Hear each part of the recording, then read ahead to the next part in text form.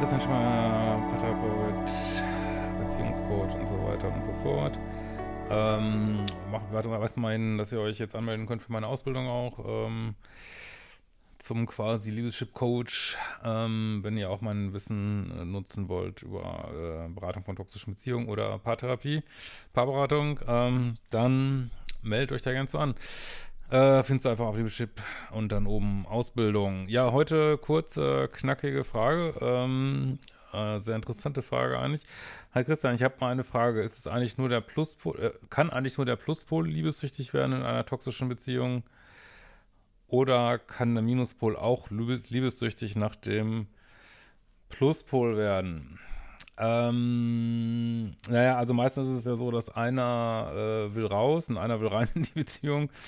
Und ähm, ja, ich, ich nenne das manchmal so, also seine Frage ist, glaube ich, in eine andere Richtung, aber ich beantworte sie trotzdem mal ein bisschen weiträumiger. Natürlich, ähm, wenn man jetzt plötzlich den Minuspol verlassen würde ähm, oder auch so einen manipulativen Minuspol verlässt, äh, dann findet er das natürlich auch nicht lustig und äh, empfindet dann nicht auch, äh, ach du Scheiße, nee, das wollte ich ja gar nicht, dann wird man wieder zurückgeholt und dann geht das Ganze wieder von vorne los. Also ich nenne das manchmal so ganz gern kalte Liebessucht, weil es eben nicht diese Merkmale hat von dieser, ja, verlustängstlichen, manchmal sehr co-abhängigen Liebessucht.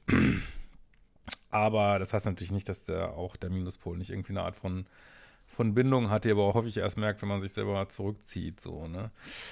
Äh, von daher, ähm, um die Begriffe jetzt mal nicht zu sehr zu verkomplizieren, würde ich sagen, nee, das ist schon der Pluspol, der eigentlich im klassischen Sinne liebessüchtig wird, so, ne?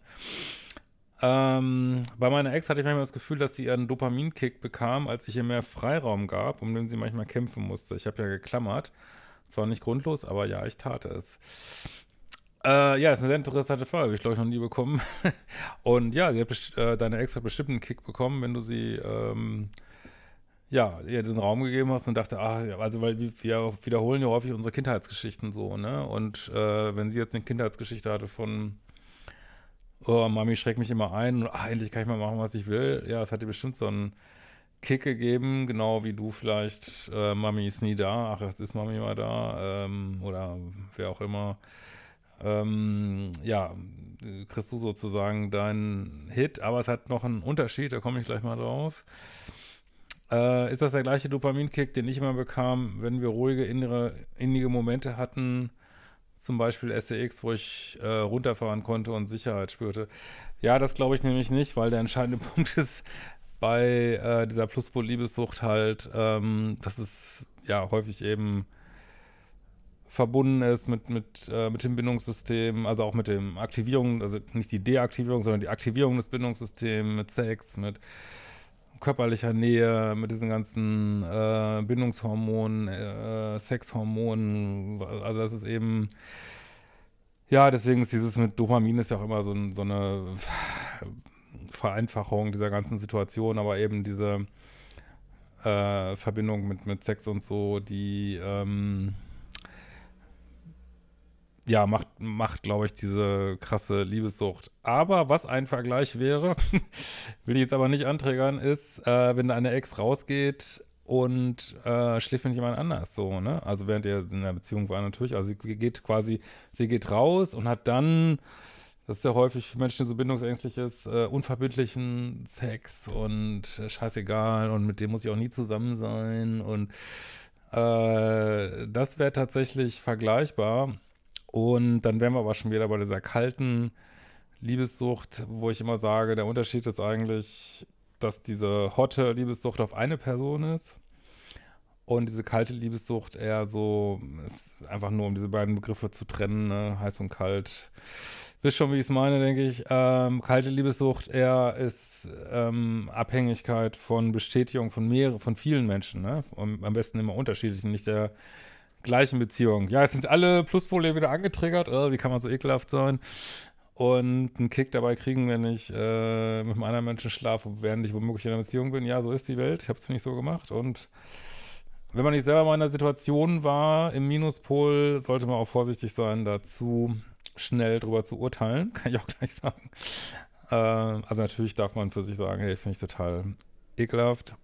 Aber könnte mal sein, dass man selber mal äh, in die Versuchung kommt und dann wird man ja sehen, ob man selber dem widerstehen kann oder auch nicht. Ähm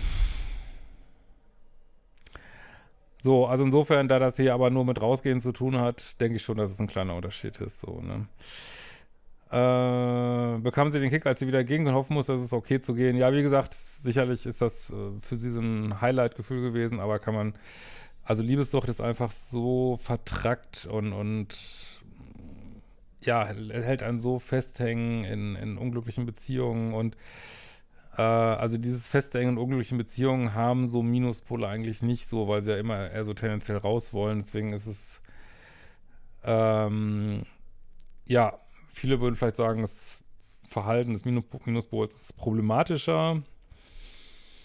Ja, wer bin ich, das zu beurteilen? Wir spielen halt all die unsere verrückten Spiele, aber der Minuspol hat einen großen Vorteil, dass er häufig nicht ähm, so diesen Leidensdruck hat. Der tritt ja häufig erst zum späteren Zeitpunkt aus, wenn man, wenn man merkt, boah, ich bin hier schon 97 und kann keine festen Beziehungen führen, ist ja auch irgendwie scheiße. Und äh, das ist aber nicht so dieser Leidensdruck, der Verlustangst, der äh, die, die, dieses, weiß ich auch nicht, wo das innere Kind mit reinballert und also wo man überschwemmt wird von, von Sehnsucht und was weiß ich was Gefühlen, das ist es eben nicht und ähm, und deswegen hat es auch nicht so diese, diese, dieses Ausmaß, sag ich mal, was es für ein Pluspol hat.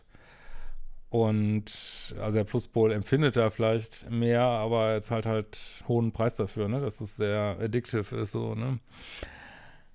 Ähm, hoffe, kannst du mit der Frage was anfangen? Absolut. Äh, bin seit sechs Monaten getrennt und noch viel am Forschen. Deine Arbeit hilft massiv. Bitte geh viel Snowboarden, damit du keinen Burnout bekommst und den Kanal dicht machen musst. Ja, ist ein sehr guter Tipp. Äh, ja, wie gesagt, gerade liegt der Stress bei mir auf äh, anderen Ebenen, aber das ist auch äh, habe es ja schon angedeutet, Sachen, die, glaube ich, viele Menschen gerade erfahren, die im Wohnungsmarkt zu kämpfen haben und äh, bin da ja nicht allein mit, aber hoffe, dass ich wieder in Ruhe dem Wintersport nachgehen kann und auch nicht ähm, das Wetter einem Strich durch die Rechnung macht, ähm, wie letztes Jahr ziemlich oft. Das wäre schon schön. Aber gut, dass du mich daran erinnerst. Ich wollte mich eigentlich mal für so eine Snowboard-Freizeit anmelden. Also sehr viel Danke für die, für die Erinnerung. In diesem Sinne, achtivagenden Kurse, guckt mal, ob die Ausbildung was für euch ist. Ähm, jetzt ist ja auch bald Lesungszeit, das kann ich auch noch mal kurz antickern hier. Also was ausverkauft ist, ist äh, sind die beiden Berliner Lesungen.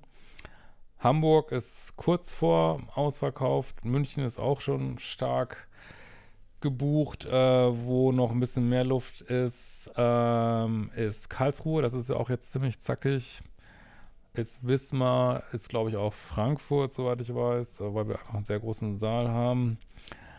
Ähm, und eine fehlt auch noch. Also Wien kommt noch, da hatten wir schon welche geschrieben, Wiener. Das wird äh, Anfang nächsten Jahres sein. Und Essen gibt es, glaube ich, auch noch Tickets. Wir kriegen mal wieder Leute, äh, Nachrichten von Leuten aus Köln. Leute, es gibt, ich weiß, was mit eurer Stadt los ist. Es gibt einfach keinen Lesungsort. Wir haben uns jetzt wirklich, ich habe das hier wirklich jetzt, glaube ich, zwei, drei Jahre probiert, da was zu finden. Da müsst ihr halt nach Essen kommen und findest du alles auf libysche.de und dann oben auf die Lesungsseite tippen oder einfach bei Eventim direkt ähm, äh, cooler Hemschemeyer eingeben und da findest du natürlich auch meine Lesung. In diesem Sinne, wir sehen uns bald wieder. Ciao, ihr Lieben.